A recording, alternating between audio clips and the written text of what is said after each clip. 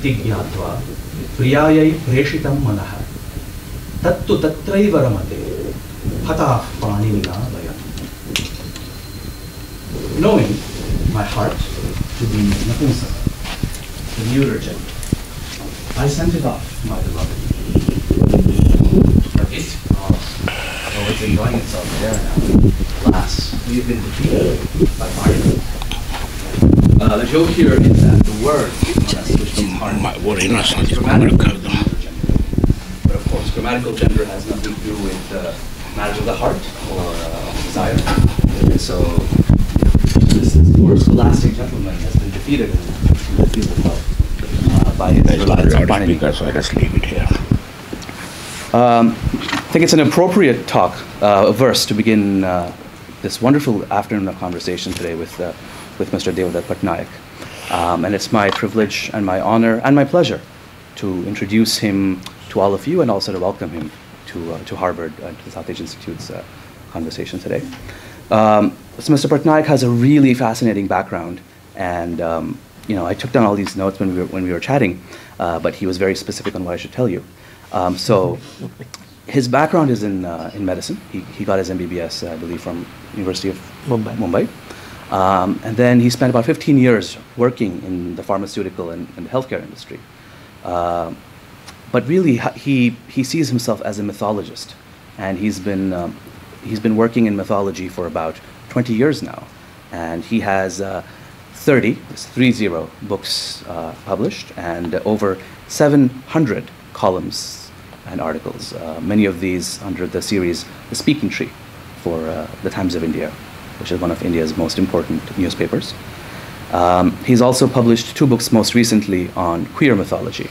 Uh, one which is nonfiction called Shikhandi, and uh, one which is a work of fiction called The Pregnant King.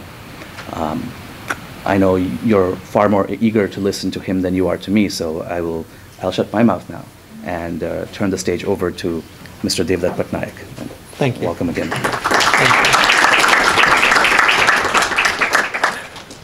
So, uh, should I stand up and speak, or what's the rules here? Whatever you're comfortable with.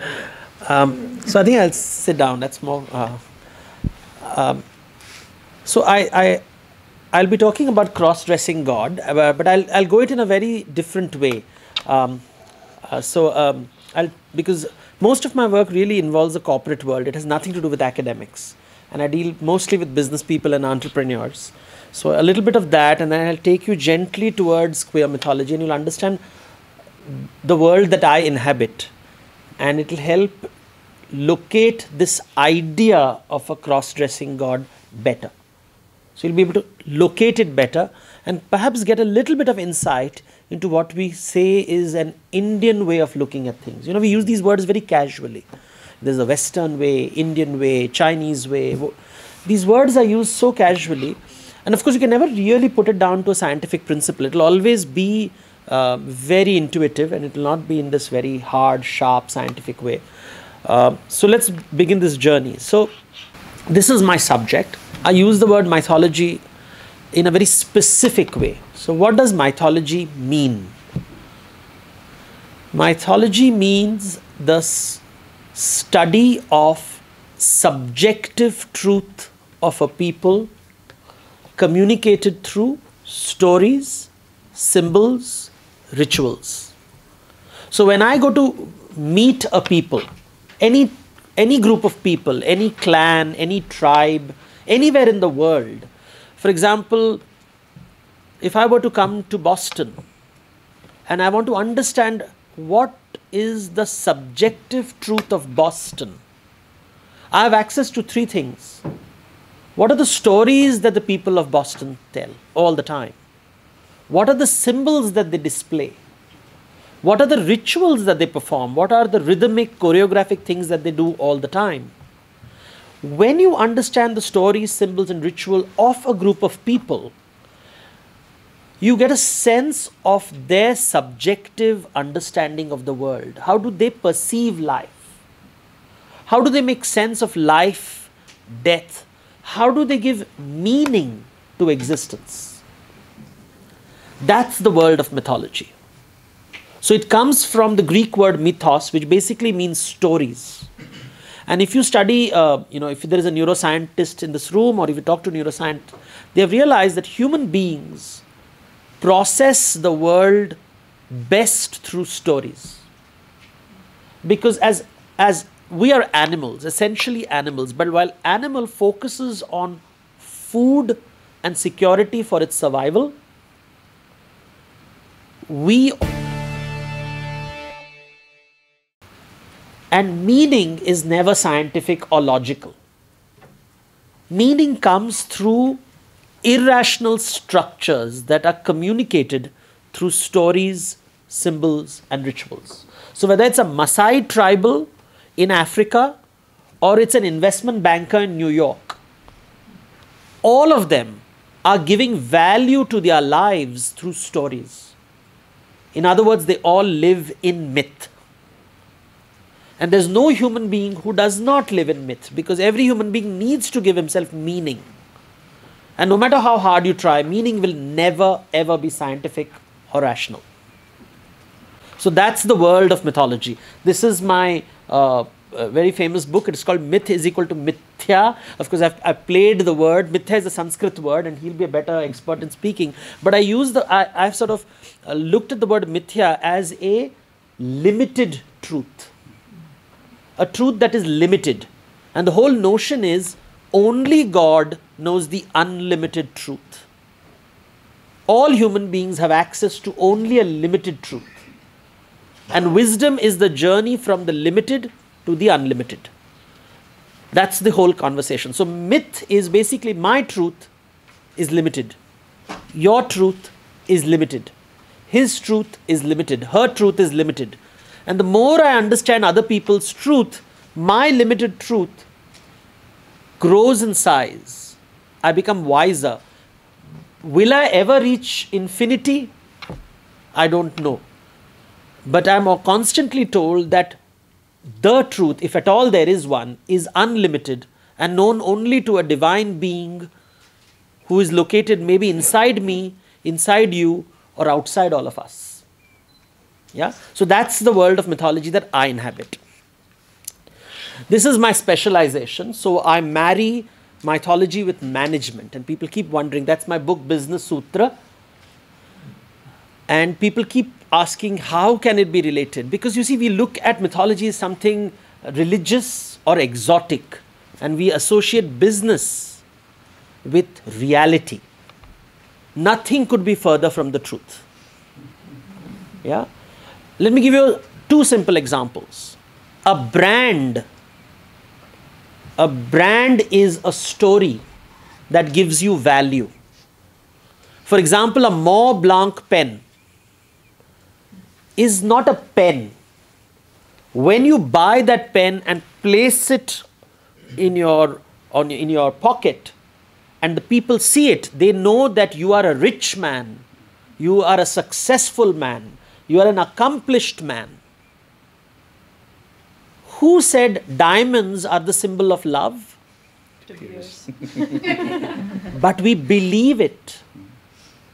Try to get a girl to marry you with a plastic ring. It's we have been conditioned with the myth because it gives us meaning and value. The world of branding is the world of myth.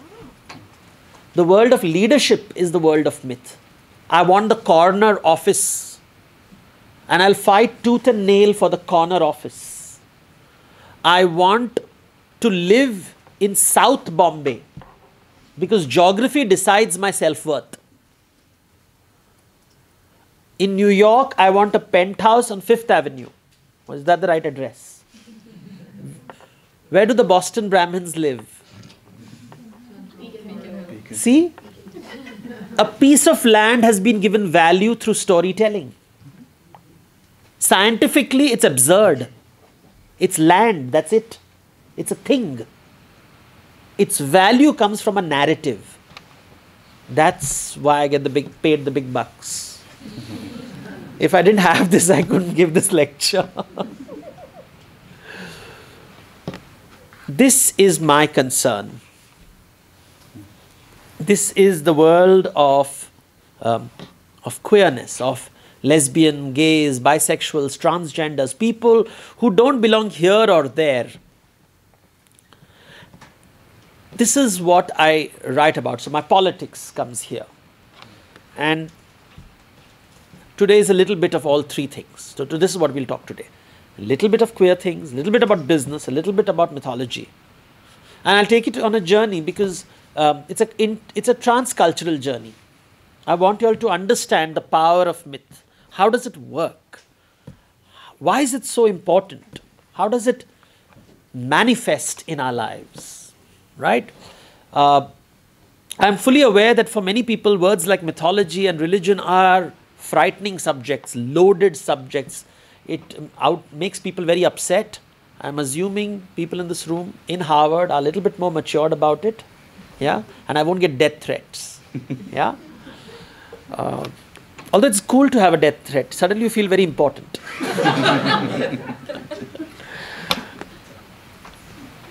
so there's an uncanny resemblance between the modern corporation, any modern corporation, and the nation state.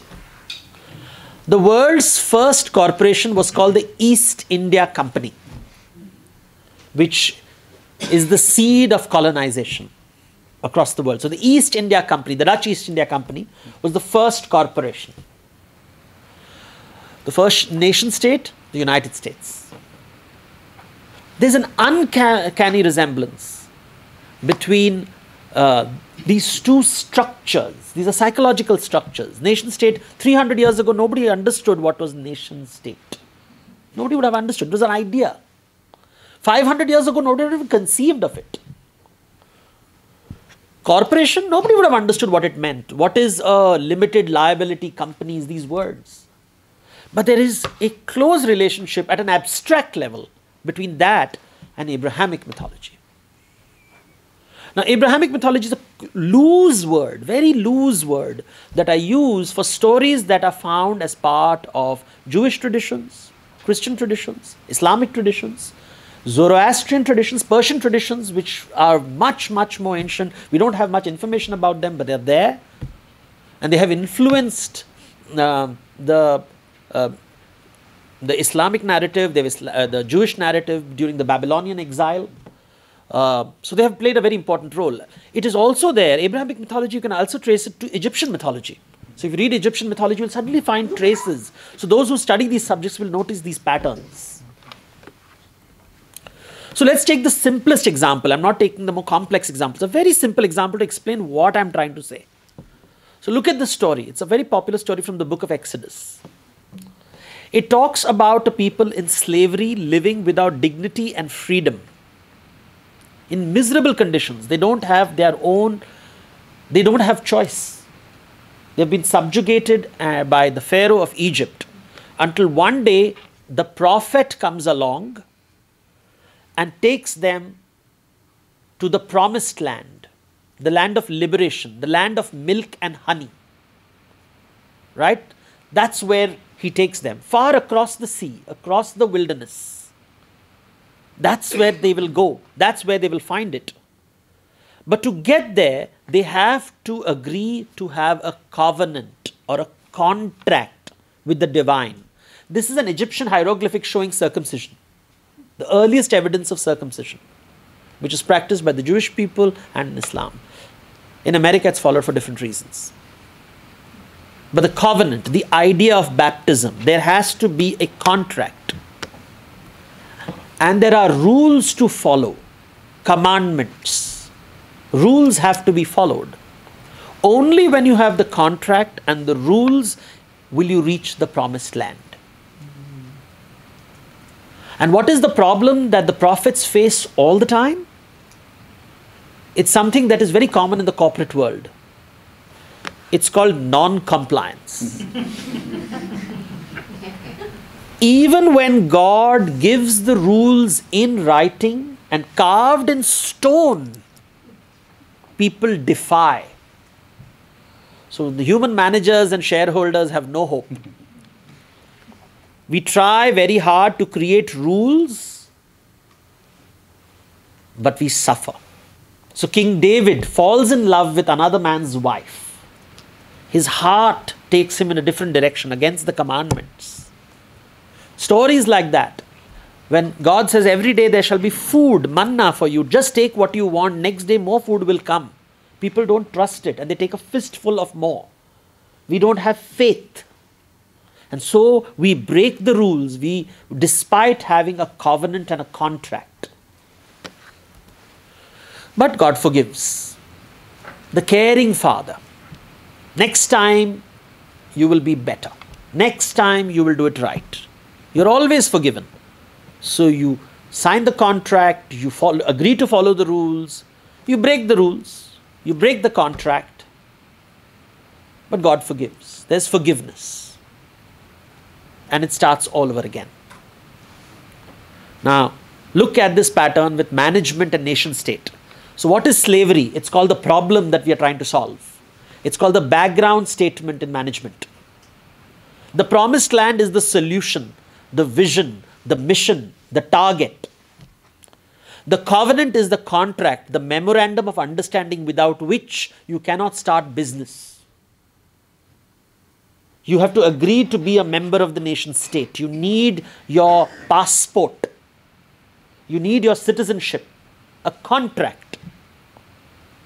Commandments are the rules, the guidelines, the values that you're supposed to uphold, the penal code, the legal system. The king and the prophet, whose job it is to ensure that everybody aligns, is the CEO of a company or the prime minister of a country. He's not all powerful. His job is to ensure he takes people along with him. And above that is the caring father, God. In management, they're called the board of directors. In a democracy, it is we, the people. The structure is the same at an abstract level but it's not a universal structure. You don't find it everywhere. So, you find an uncanny resemblance between modern activism and Greek mythology. So, whenever I see an activist talking about revolution, I say, ah, Zeus is back. it's just at a mythological level, it's so obvious they're living a mythic narrative. It's been going on for centuries. So, what's Greek mythology? It doesn't have a caring father, it has a cruel father. Look at this picture. It shows an old man eating his own child. That's Cronus or Saturn eating his own child to sustain himself. He's cruel. Father is not caring, he's cruel. There are stories of the Titanomachy. The Titans are defeated by the Olympians, they are overthrown by the Olympians to establish the Olympian, the, the, the gods of, uh, of Olympus are the gods because they overthrew someone before. The old gods were cast away and they are the new gods. And they are nervous that the humans will one day overthrow them with rationality, with rational thought, with reason. So they control human beings through the fates. Three women who spin the web of our lives, deciding the quality of our life, the duration of our life, and they decide how long we shall live and how we shall die. That's how they control us. And if they get angry, if the Olympians get angry, you shall be cast in Tartarus. And you'll be made to do meaningless, monotonous tasks, like Sisyphus over here, who rolls a rock up the mountain every day only to find it rolling down. And so he has to do it again and again and again and again the lives we lead, right? Monday through Friday, Monday through Friday, Monday through Friday, the same thing unraveling itself all the time. And then there are the heroes who defy this structure, the heroes who refuse that they shall be bound by these structures, by the fates, who refuse to be controlled by the Olympian gods they want to be extraordinary and independent and live their own lives as individuals. So, this is Hercules over here cutting the head of the Hydra. Who created the Hydra? The Olympian gods. And therefore, you have the Olympic Games. What is the Olympic Games? Where you break the limits of your endurance. You continuously break the rules. You shatter records. You become faster than before, stronger than before, higher than before. You're always better than the last time. It's about being an individual, it's about triumph. You will not be limited by the gods.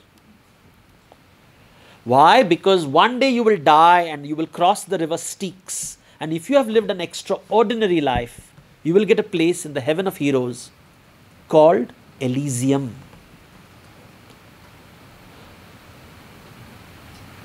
What a different world this is from the Abrahamic world. In the Abrahamic world, there was the promised land for the entire tribe. Here you have Elysium only for extraordinary individuals. Everybody will not be allowed in, only the special, only the spectacular, only the brilliant, the individual, not the tribe.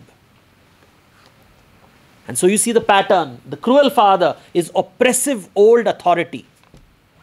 What is titanomachy? Overthrow of old authority. What are Olympians and the fates, the new authority, those who control us? What is the wrath of the gods? Oppressive new authority. What is hero's defiance? Revolt, triumph against the odds, eventual victory, and a sense of urgency because you live only once. You want to reach Elysium, right? You want to become a millionaire in this lifetime. Pick up the autobiography of Bill Gates and you see the way it is written, or Steve Jobs, heroic narratives, Greek heroes, individuals who outshine and break the system. The structure is familiar, it's been there for thousands of years. There's nothing unique about the structure, it's not new, it's just told in a different way. So I've taken you from Abrahamic mythology to Greek mythology. Because only when you understand these two structures with which the modern world defines itself will you be able to understand the Indian structure. So we come, so look at this. This is an example of the queer movement. As long as when you talk of Stonewall riots, you're talking of the cruel father.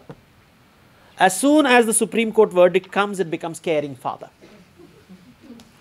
the same state becomes cruel and caring. As long as it oppresses the individual and demands you align with the tribe, cruel father. As the day I'm given individual rights, caring father.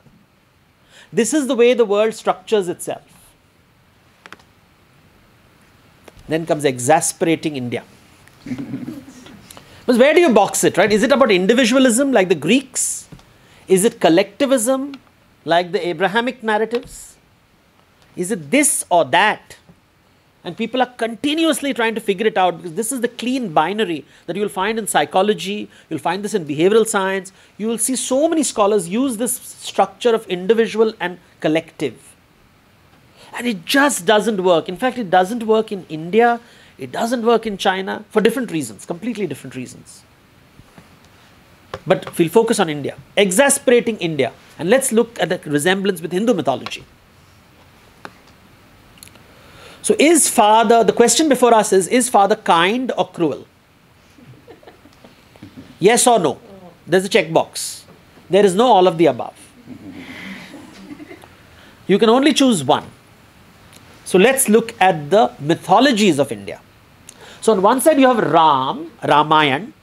On the other side, you have Krishna, the Bhagavatam and the Mahabharata, the big epics of India. They shape India. They are the through which you understand the psychological structures of India very easily. So look at Ram, Maryada Purushottam Ram, he who follows the rule all the time. Alignment, alignment, alignment. Sounds like the Abrahamic mythologies, right? Suddenly you have this alignment Father is kind even if he throws me into the jungle. I will obey my father. Father can do no wrong. And then on the other side is Krishna. Leela Purushottam Krishna. He who breaks the rules all the time. Who kills his maternal uncle, the father figure. Unheard of in Indian mythology. Like a Greek hero. Look at this picture. There's a woman standing next to Ram. That's clearly Mrs. Ram. no doubt about it. He's Ekam Patni Vrata, only one wife. No, but never look at anybody else. On the other side, you have Krishna. But is that Mrs. Krishna? And you can't really answer the question. You, if you ask someone in India, they'll say, shut up. Clearly, you're educated in the West. You don't ask these questions. You just keep quiet. And in the temples, these lovely ladies will be singing Geet Govind's erotic verses, clueless what they are singing. So you will have this old lady sing this beautiful song about how lovely your breasts are. And when you give the translation, you are evil. You have a dirty mind, but that's the translation. We don't hear it. It's a different world, the world of the individual. So here you have Ram with his caring father, and there is Krishna with the cruel father. So the question is, what's the answer? Cruel or kind? And the Indian answer is the Indian head shake. this way and that. Sometimes father is caring, sometimes he's cruel. Jaisa yug, Vaisa avatar. In the Tretaya yug, he is kind and Ram follows the rules. In the Dwapara yug, when the era changes, Krishna breaks the rules because the father is cruel. Ram and Krishna are not two separate entities, they are the same in different situations. So at home, you are the cruel father, at office, you are the caring father, or the other way around. We are different people in different contexts. And that is the Indian notion because time plays a very important role. And as time moves, that's why Kala is important as time moves, everything changes. And therefore, situations change, and therefore, the narratives change. And therefore, the individual sometimes becomes a member of a tribe, and sometimes he's an individual, and sometimes he's a tribe, and sometimes he's an individual. And so you have the avatars. Avatar, avatarana. Avatarana means to come down from the unlimited reality of divinity to the limited reality of the mortality. But there are many limited realities. There are many. One where you are the lover, one where you are the warrior, one where you are an animal, a fish, a boar, a lion, a hermit. Different contexts, different forms. Is this the image of one God or many? Is it monotheism, as in Abrahamic mythology? Or is it polytheism like Greek mythology? And the Indian answer is this yes, yes, yes, it's polytheism. Yes, it is monotheism. This too, that too. This and that, a little bit of both. Because nothing lasts forever. Not even the gods. You worship the gods, and after worshipping the gods, you dunk them in the river. And next day, year, they'll come back and you'll worship them and you will cast them aside. And you will worship them and you'll cast them aside. Depending on the context, it will change. Because time is moving all the time, nothing is permanent. Different values. So, one life Therefore, one truth, one destination, one code of conduct, one way of going there. Make a plan and stick to it. Look, that's the language, right? It's a very American language. Make a plan and stick to it. Indian, many lives. So, what's the hurry? what problem are you trying to solve? The problem doesn't last forever anyway. Solutions also don't last forever. So just wait, it will solve itself. So somebody says, do it, solve the problems, and Indians will say, yeah, yeah. So you vote for a prime minister, he's not good enough. Next prime minister. And the next. There were potholes before, there will be potholes later, we know how to go around them. I'm 45 years old. I have been hearing about potholes from the day I was born. I don't expect it to go away in my lifetime, and I'm comfortable with it. Very different way of looking at the world. No sense of urgency. No doom, no gloom. Nothing lasts forever. Nothing. In this world, when you live only once, your body matters. And therefore, you embalm and you entomb the body and put it in a tomb and you mark it. Whenever a person born, when did he die? It's important. When you live infinite lives, the body doesn't matter. You burn the body and cast the ash in water. Because next life you will get a better body. You'll be taller and have a six pack. or you will have breasts. Or you will not have breasts It'll change. What's the hurry? Like gloves, remove new gloves. Sometimes pink, sometimes purple, sometimes black, sometimes orange. What's important is the hand inside, not the glove. What is important is the gloves, hopefully, are warm. and just because someone falls in love with the glove doesn't mean they fall in love with the hand. Yeah?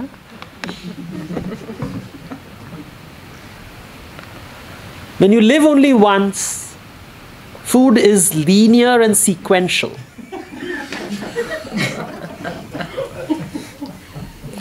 Soup, starter, main course, dessert. You know you will eat what the chef has cooked for you.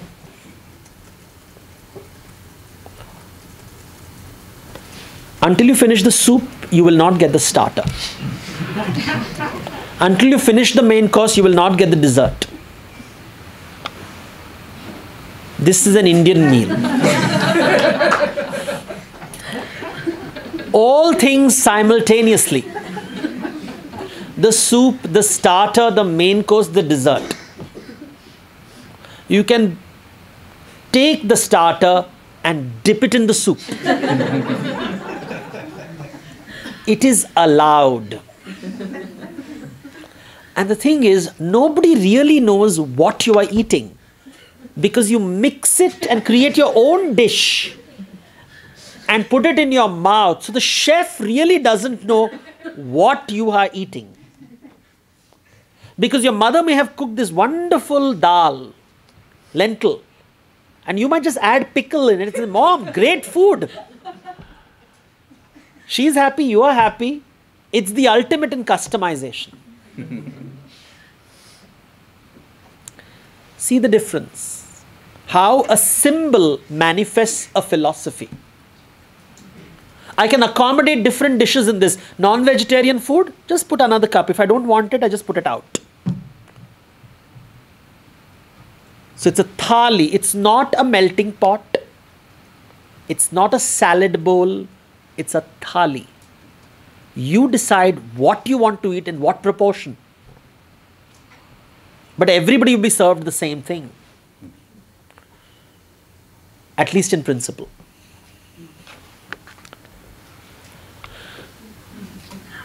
So, one language.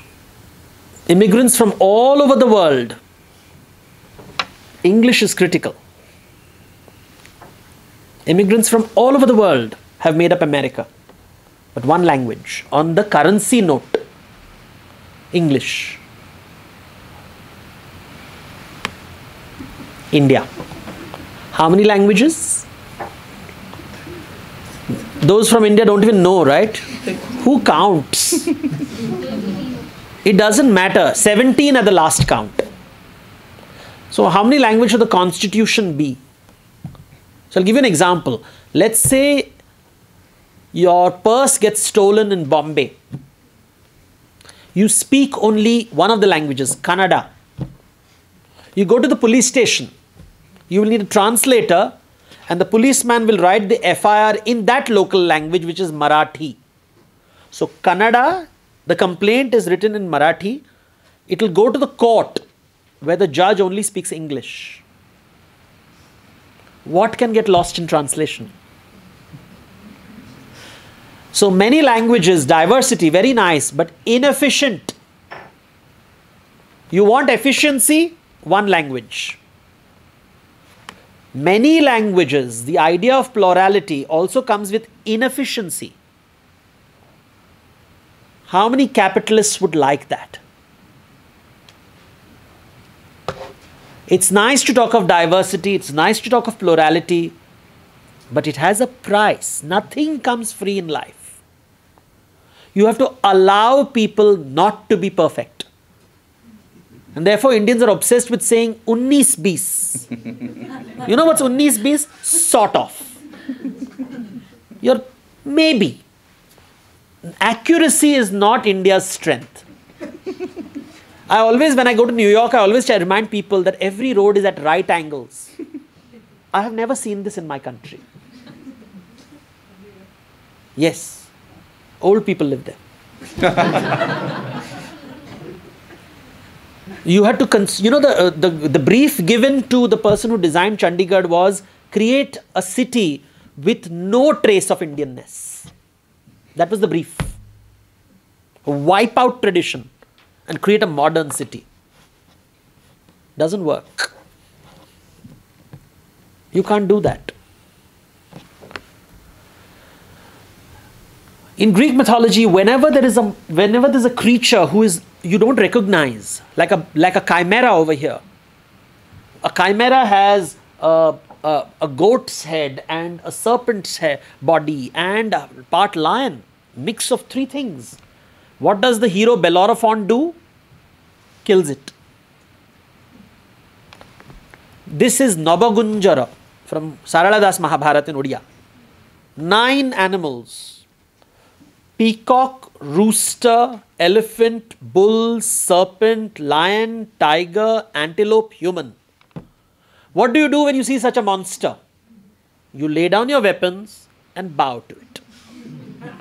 You won't win. You won't win. You can't defeat it. You can't put it in a neat little box. When this is your philosophy,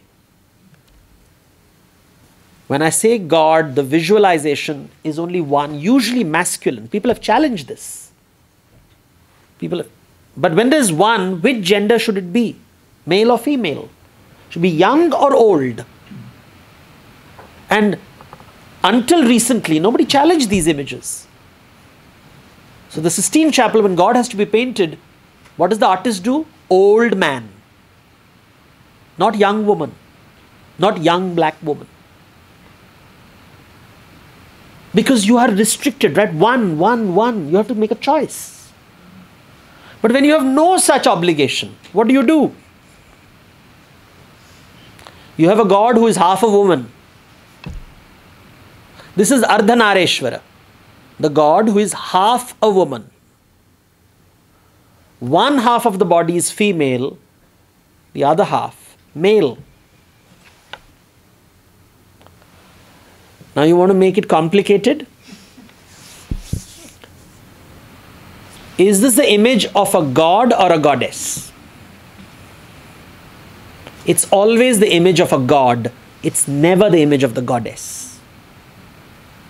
God becomes half a woman. Goddess does not need to become half a man. So there are no stories where the goddess takes half a man. Why? You'll have to pay me more.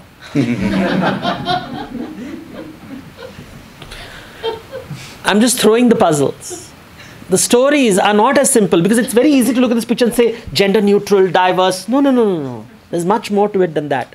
First glance, yes, very different. Visually, very different. And the God who cross dresses. The theme of today's talk. Now you understand it. The gloves have been changed.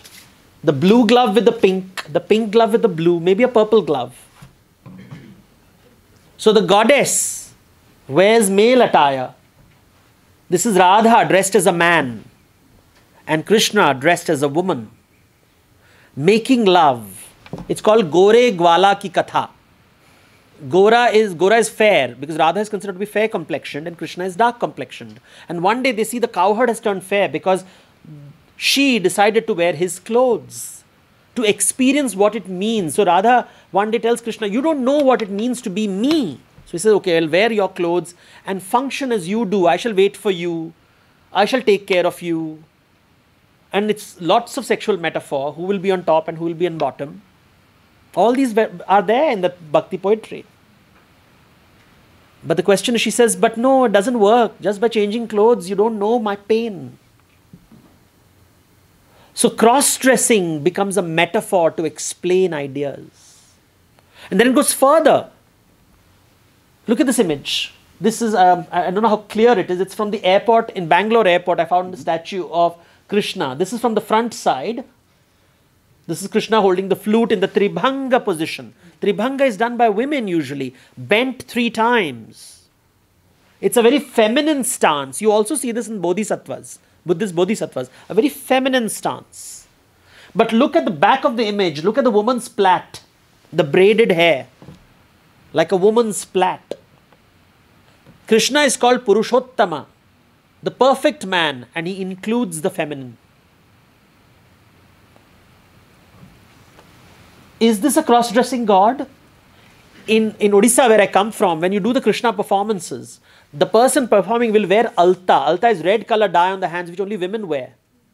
The image of Krishna has a nose ring because the mother puts the nose ring and makes Krishna feminine so that the evil eye doesn't fall on him. So you, the son whom she loves so much is decked up like a girl so that he's safe. so that he's safe, he's protected. See the ideas. There's no issue of cross. Nowadays, I know child psychologists will say, should they wear pink or blue? And there are huge discussions of how a child should be raised. Here is a mother very comfortably dressing the child as a girl. Nothing happens to the sexuality, trust me. It just expands to include so many more things. Then you have in Baul literature the story of Krishna Kali. One day Krishna is making love to Radha. And Krishna transforms into Kali, the goddess, the wild goddess, who is dark complexion but feminine. And Radha says, You can't leave me behind. So Radha transforms into Shiva, the male god, white complexioned. And takes the lower position. As Radha, she takes the upper position. As Shiva, she takes the lower position. So you see a shift in gender, a shift in position, a shift in, demure, uh, in their behavior, a merging. This is also philosophical because it's the merging of Shaivism, which is the hermit traditions, Vaishnavism, which is the householder traditions, Shaktism, the goddess traditions, all merged using queer language. Should I take this image literally or metaphorically? Should I take this image literally or metaphorically? Should I take this image literally or metaphorically? Should I take this image literally or metaphorically? The queer is included. So many layers of meaning. This is Chamunda and Chotila from Gujarat, the goddess and her companion. How do you want to see this? No literature available no books, no texts. This is the shrine. When you enter the temple, the goddess will be with her companion. No male forms anywhere. How do you want to see this image? Are you allowed to see it in only a particular way? Who decides? The devotee, the priest, the mahant, the celibate ascetic?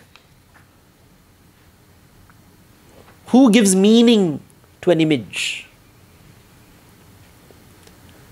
Who decided God is masculine? Who decided God is heterosexual? Who gave meaning? Where do these meanings come from? Can we reimagine, reframe, question, look at the structures? That's what my book is about. That's what my work is about. Because these images talk to us. You see, when we talk of contextual thing, in today's society, 21st century, contractual sanctity is important. If you live in a civil society, and India is a civil society, or at least aspires to be one, you need to give contractual sanctity. Citizens of India must have their human rights. And therefore, nothing is permanent, not even IPC 377. And the thing is, whether the court wants it or doesn't want it, sexuality will always exist. You see, in the mythological metaphor, the nature is visualized as feminine and culture is visualized as masculine. So, culture needs nature, nature doesn't need culture. Therefore, the god becomes a goddess. Goddess doesn't need to become a god. That's the meaning of it. Which means whether society approves or disapproves, all kinds of sexuality will exist in nature. It is about the human ability to embrace diversity and plurality. How difficult it is, because remember, it is inefficient. It's not efficient. It demands a lot more of you to deal with diversity.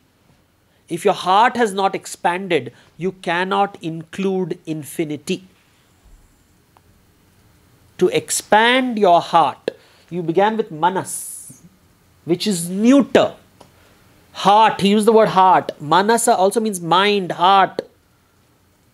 Brahmana means to expand manasa, expand the heart, expand the mind. What in local language is called dil kholna. Open your heart like the lotus opening, and only then you can handle diversity and nature's impermanence. And that's what queer mythology of India is about. That's what the cross dressing god tells us. And I hope His wisdom will take you all to a wonderful direction. Thank you.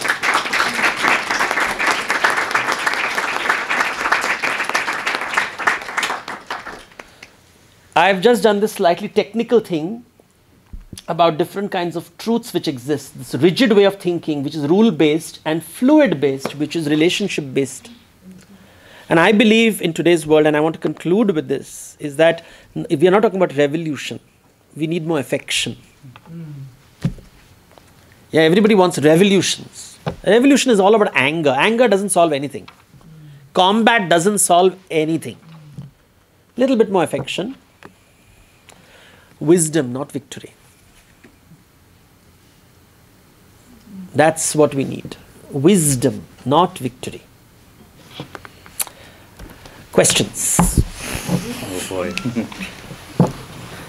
uh, I am not in a very enviable place right now. I don't see how I'm going to respond to anything as rich and as um, honestly, brah, expansive um, as what Mr. Patnaik has given us. That was really Thank you. Thank so incredible. so, thank you, thank you so much. Um, I just wanted to say a couple of very quick things to follow up and, and actually build on what you said about about India um, from a perspective that is perhaps a little more in uh, in my minor sphere of competence, which would be Sanskrit. Um, when we talk about Sanskrit literature um, and Sanskrit dramas, for instance, one of the most interesting things that people notice, especially people who come into reading Indian literature from a, a Western background, is that almost like Bollywood movies, there are no tragedies in Sanskrit literature. You can look through the entire corpus of Sanskrit dramas, and um, you'd have to look very hard and with a, a rather loose definition of tragedy to find anything that looks like a tragedy.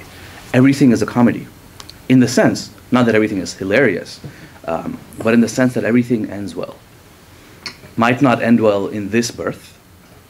Um, Shakuntala dies, goes to heaven, but it ends well in her next birth or the birth after. So things end up working out, but in the long term. That just reinforces your point. And the second point, which um, Sanskrit drama again ends up reinforcing, is the nature of the individual and of the self. What kinds of, of conflicts do people face? In uh, the notion of rebellion doesn't really show up in a lot of Sanskrit literature. The, the metaphor really is one of fragmentation.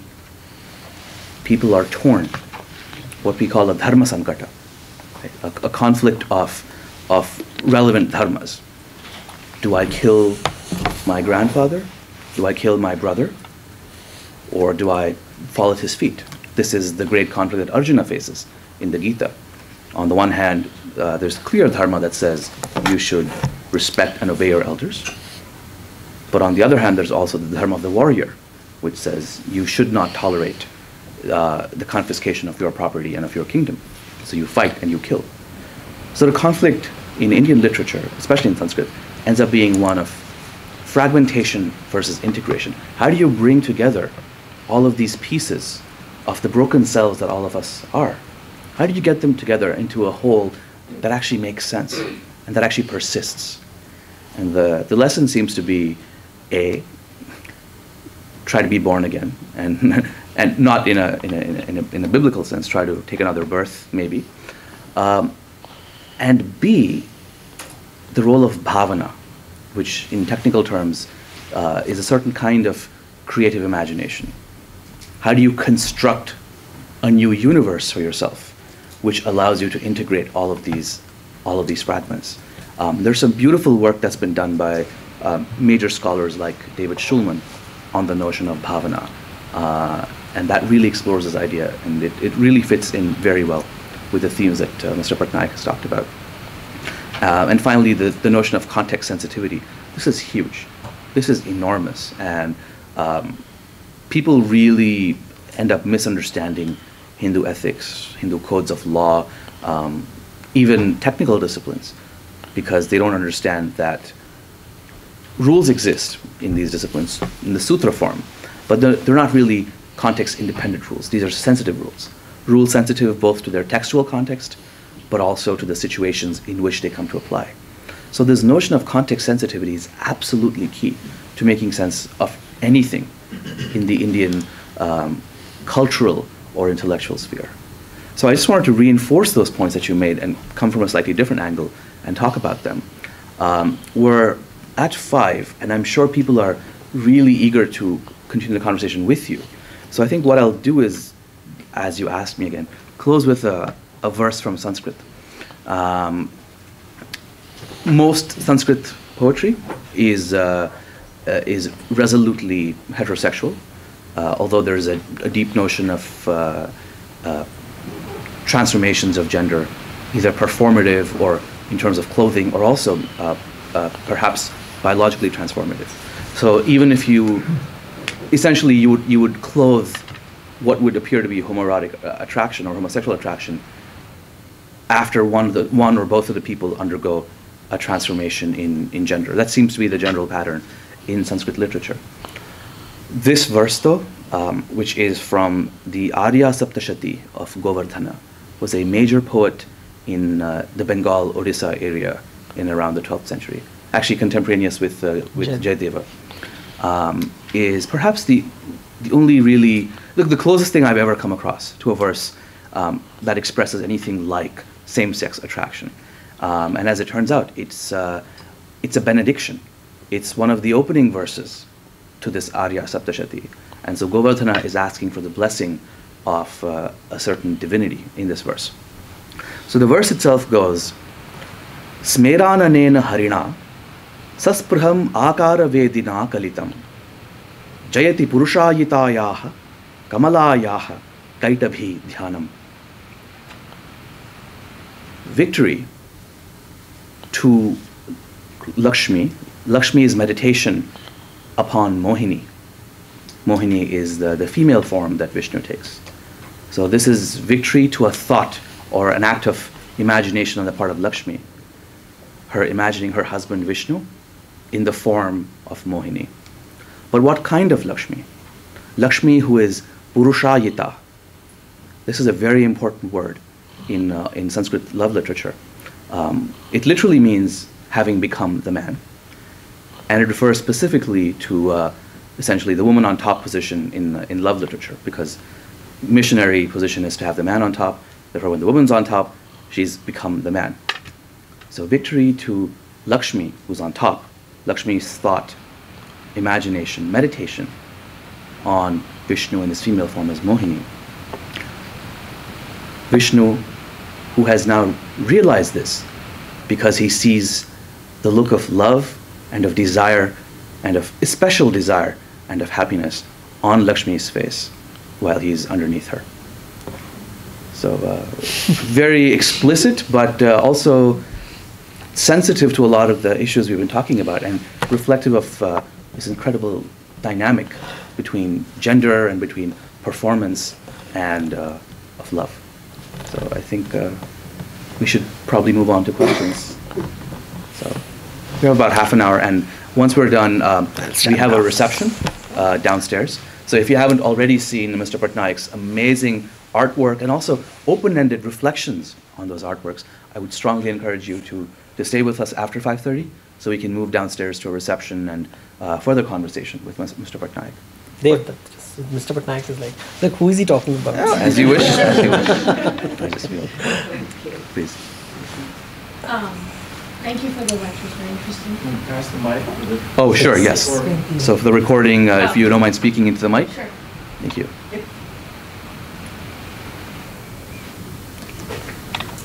Thank you for your lecture, it was very interesting, and I liked how you were talking about the diversity and, you know, it's not just one thing or another, it's not rigid. How does the caste system, I don't know how it, how you explain the caste system, or how is it, um, how does it come into this? It- Because that's very rigid, that's supposed to be like you're in one thing or another. Yeah, uh, in this life. But in the next life, it changes. Today's Brahmin can be tomorrow's Chandal, right? Um, th- that's the structure. So the structure is the rigid in this life. So even if you take the most narrowest definition of caste, uh, there are many ways of looking at it. Let's take the worst definition. It means that in your next life you can be of what is called the lower caste. You see, caste is a very complex idea. It's like um, the best way to explain it is visas. Right? Not everybody is allowed to enter a country, right? If you are unskilled and poor, no country allows you to enter unless you're a refugee. And even then, there is a problem. Yeah? So that's how you understand caste. A group of people who are privileged, who don't want you to enter unless you bring value in.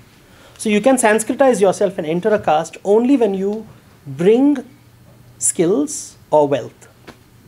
So if I have more money, I'm allowed to enter America. If I have more skills, I'm allowed to enter America. If I'm poor and have no skills, the visa office will turn me down. Yeah?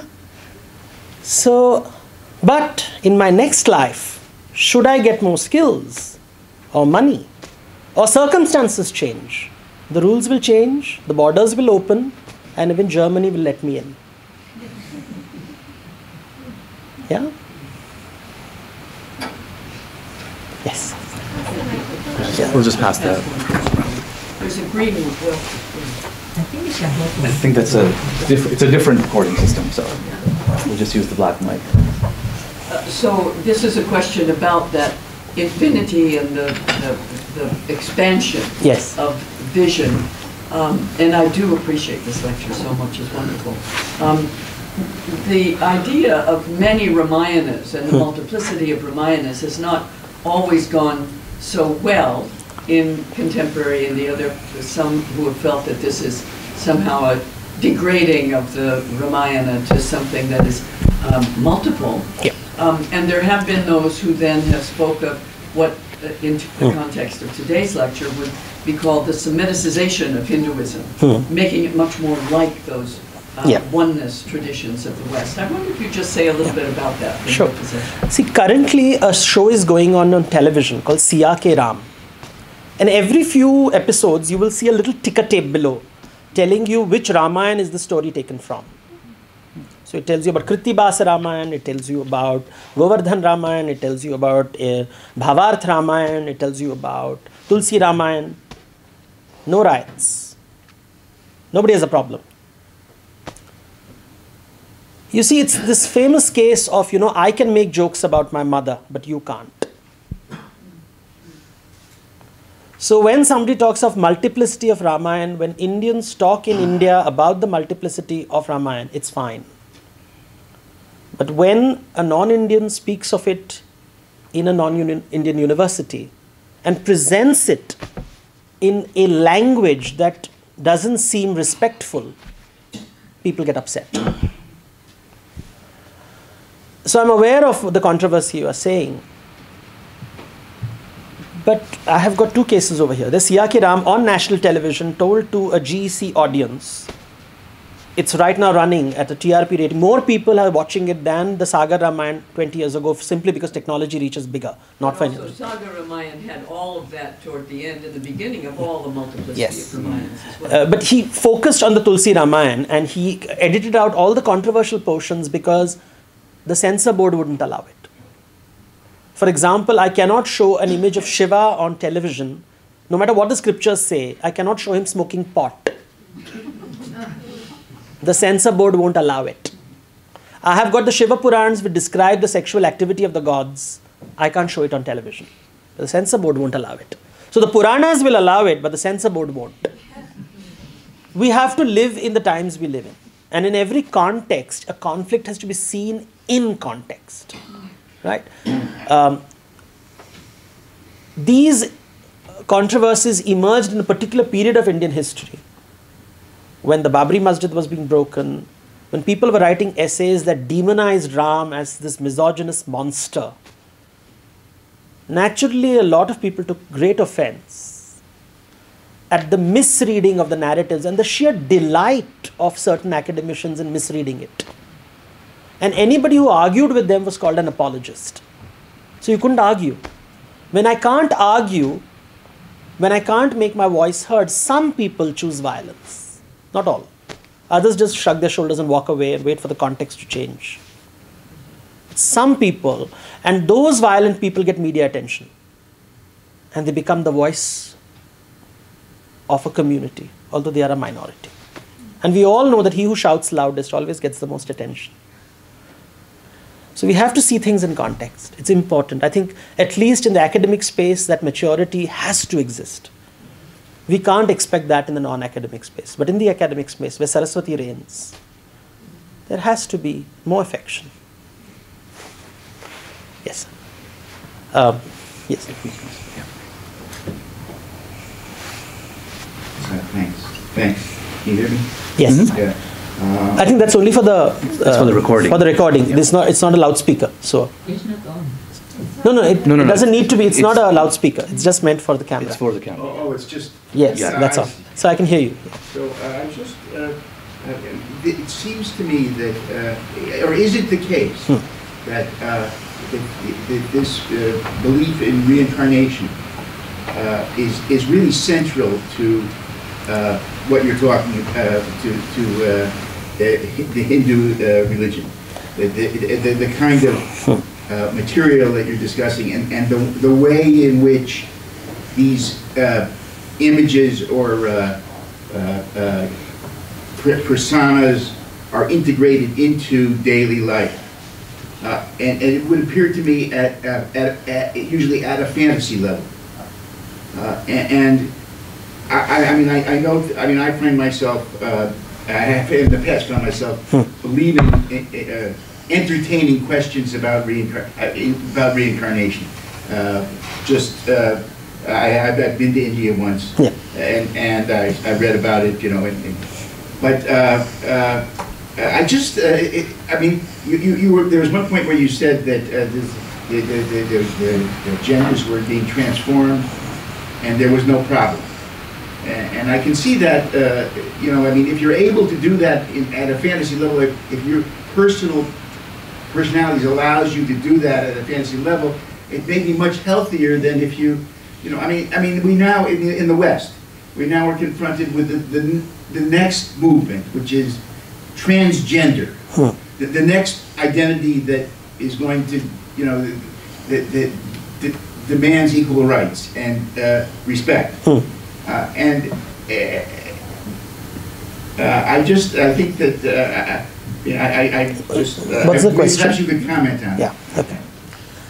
You see, if you ask an atheist, God becomes fantasy, right? For an, for an atheist, God is a fantasy concept. In the same way, someone who doesn't belong to the rebirth traditions considers rebirth as fantasy, right? So, the easy way to remember this is fact is everybody's truth, fantasy is nobody's truth, myth is somebody's truth. The question is do we want to respect that person's truth? That's the question. It's a very simple idea. I, it doesn't make sense to me, but it makes sense to you. If I have to have a relationship with you, do I allow your truth to exist, maybe in flourish? And I hope that you will reciprocate and allow my truth to exist and flourish. Then we have a great relationship. Right? Right. That's what it is. That's the idea. When I recognize that different people have different truths.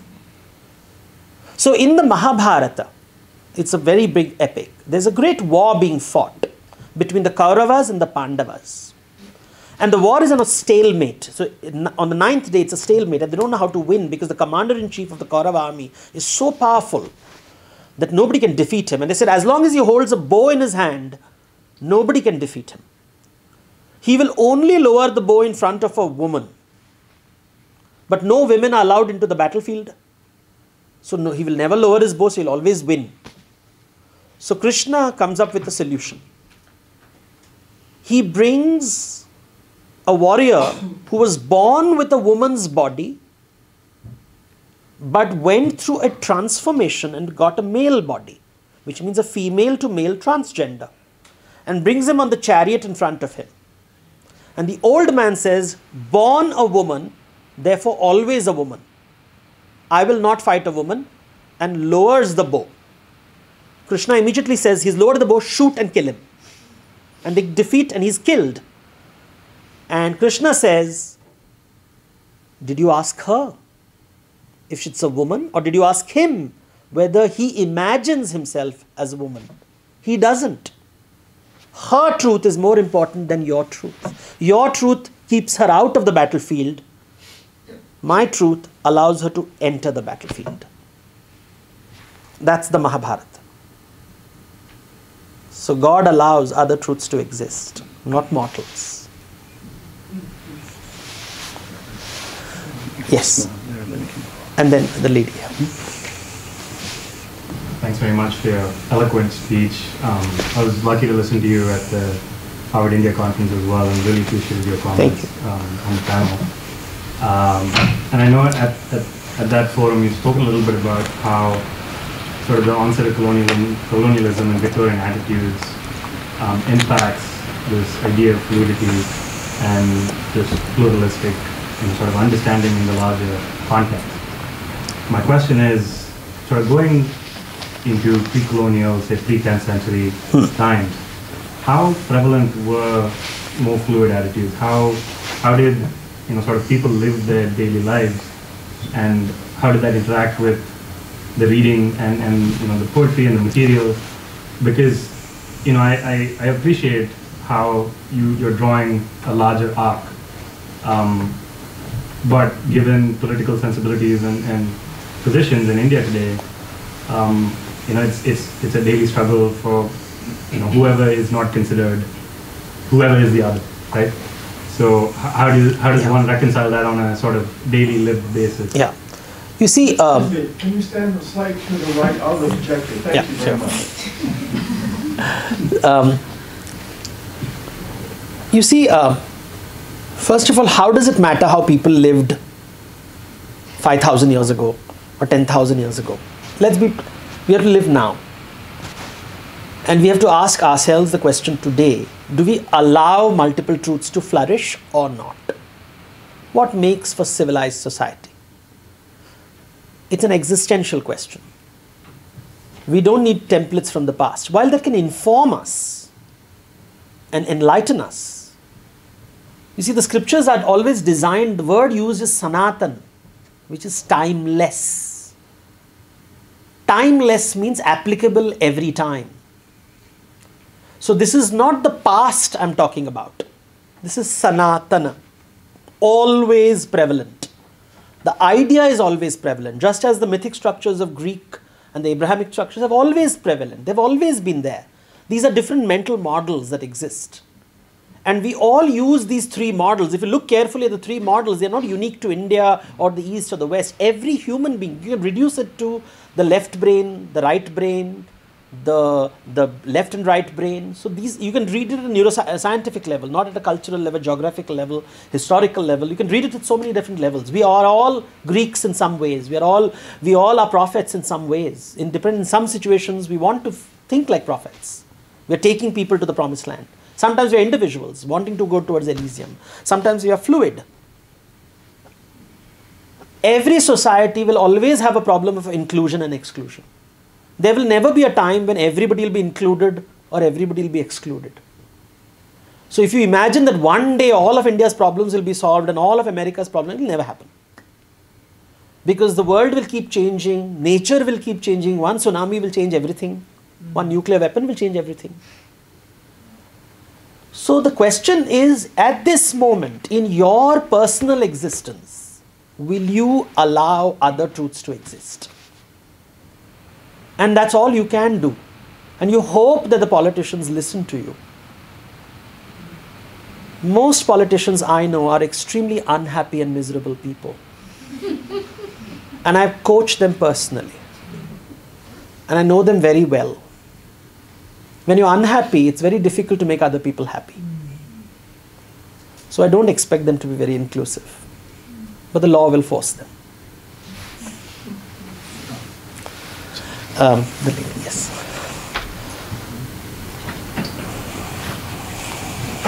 I think my question was somewhat similar. How do you see the cross-dressing God playing out in the lives of LGBT people in India in the present day, which of course India is huge, you know, Yeah. so how can you generalize? But You see, when nobody, uh, these narrate, people have seen these images. So you go to a temple and you see a god dressed, male god dressed as women. It's called Stri Vesha, Nari Vesha. The god is dressed as a woman.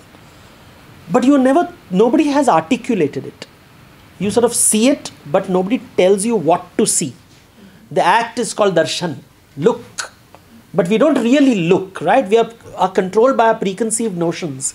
And so, although I'm looking at my God dressed as a woman, I don't know what to make of it. Right? People like me who write about this make people aware of what the, are they are seeing and it makes them think. So, for a young transgender person or a cross dresser, there is something empowering in the narrative. It's something they can tell their parents. And the parent may not be comfortable completely, but somewhere finds a raft in that stormy ocean of sexuality of children. Right?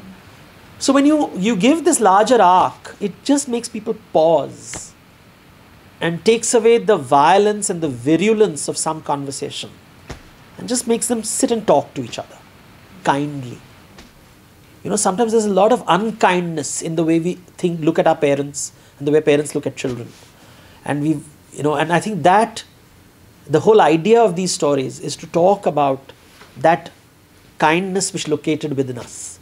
And I think that's where the practical benefit of it comes.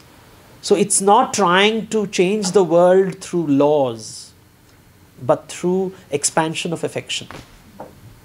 So that's what these things are all about. So there's no desire, because I know the world is changing.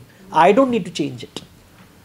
The world is changing. It may not happen at my pace, at my rate, the way I want it to change, but it is changing. And I hope that you know our parents will change and embrace us. And the state may or may not. In India, it really doesn't matter. If the family is okay, it's all fine. uh, here and then the lady there. So, yeah, first here. Then.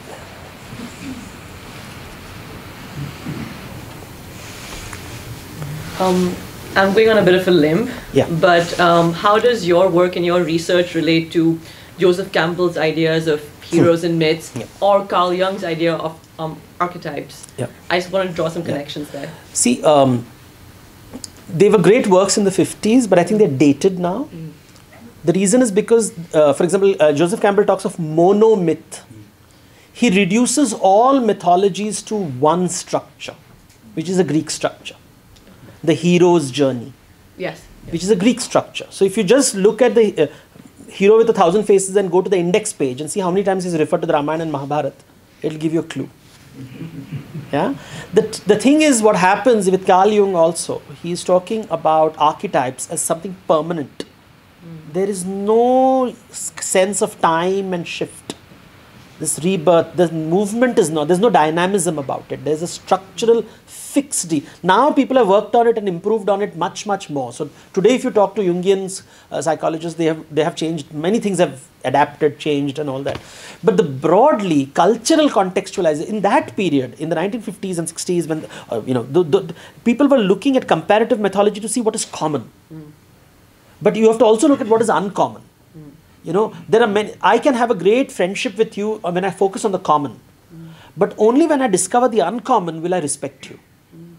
That has not happened too much, and it's only now with you know postmodern studies and all that people are focusing on the difference. So there's the common. So these were comparative mythologies and religions where we looked at the common things.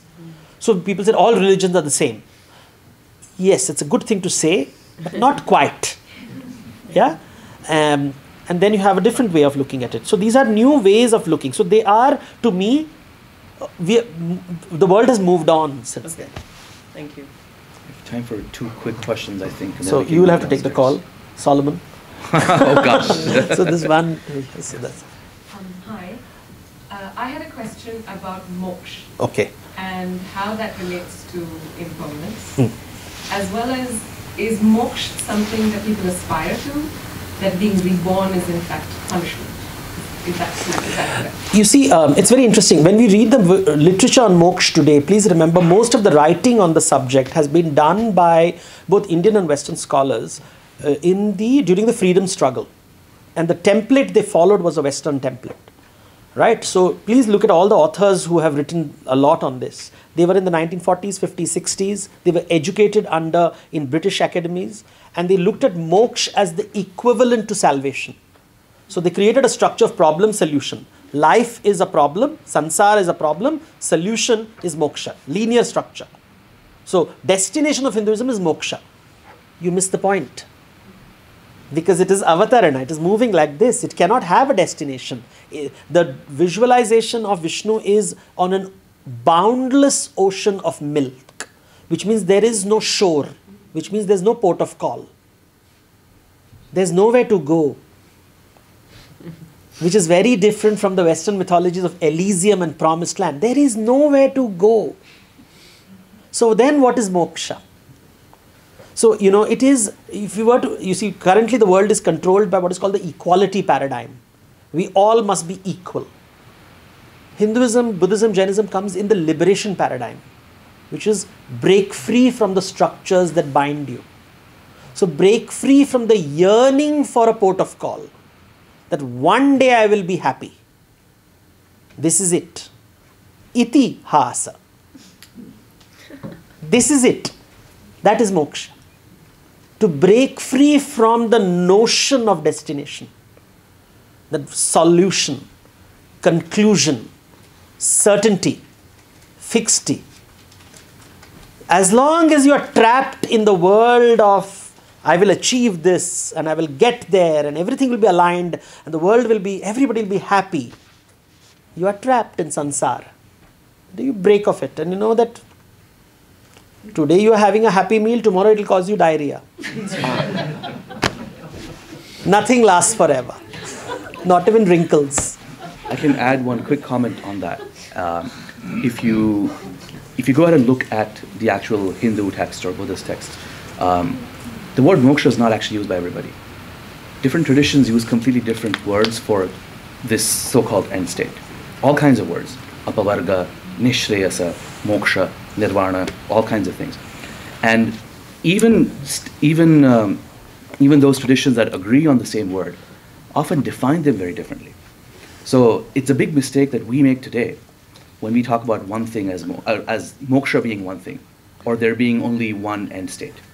Uh, if you look at the actual traditions and their explorations, they all have different answers and different ways of thinking about what these things might be. And these answers might be different for different uh, aspirants as well. Shall we end with the last question for the lady there? Yes. Absolutely. Well, um, I feel very fortunate to be here, listening to you. Thank you. Um, I have a question, and that is related to society. How the Hindu mythology is reflected in what we here in the West uh, say or uh, name the caste system and vice versa. The caste system the mythology, the mythology and You see, um, the way the caste system is understood in the West is not the way it is understood in India. Yeah, it's very different. yeah. Could you explain what Yeah. is the difference? Yes, Yeah. So um, I realize. I, I think I, I had explained it uh, to the same uh, to a lady just a couple of minutes ago. So um, it's a it's a complex topic, and when we have half a minute, you can't. But the point is, every society has hierarchies based on politics and economics. India has a third hierarchy, which is very difficult to explain to people. It's the hierarchy of pollution. Pollution ah. of something being polluted. And that is a very dark axis. And it functions at many, many levels. It can happen even within families. And most people don't understand this, this, this axis of pollution. And it's ingrained in the Indian mind. The idea of pollution, it doesn't mean hygiene. It is pollution at a conceptual level. It is often mistaken for hygiene, but it's not. It's a ritual pollution. So, for example, if there's death in the family, the family is polluted and nobody touches the family where death has happened. Birth has happened. Woman is menstruating, polluted. Now, this, when you expand it at social levels, it becomes which profession do you follow? This hierarchy has been the most complex and it defines Indian thought, and for sure, 2000 years it has defined Indian thought for a very strong way right so that's the structure which has existed so it is hierarchy as in every society but as i said in every society the hierarchies are economic political they are not completely rigid but there is a rigidity there as we see as i keep saying the visa system. Nation state is a rigid structure. Boundaries are rigid. The third axis which to understand caste system is the axis of pollution. This is a complex idea. Very difficult to explain to people because it's so deeply ingrained. You can logically talk people out of it, but it's very difficult to pull it out. Therefore, how people deal with blood is a complex thing. But you see, as modernity comes in, it's changing. So the rules are changing dramatically. And this axis will not also last. But we must remember something which has lasted for 2000 years does not go away in a lifetime. But it will go because now consciousness awareness people are talking about it people are refusing to submit to these rules of pollution so at a simple level women refused not the, the rules of pollution saying that menstruation doesn't pollute me so there are conversations about entering temples of all these kind of the conversations are changing because the axis of pollution is being rejected maybe a generation or two generations down the line this axis will go away but hierarchy will always remain in every society I don't think there'll be ever a society without hierarchy. It feels good to be on top. yeah. So we are past 5:30, so Yeah. I think um, let's let's end. Well, let's not end because we're going to go downstairs to the reception and continue the conversation. But for now, once again, thank you so Thank much. you.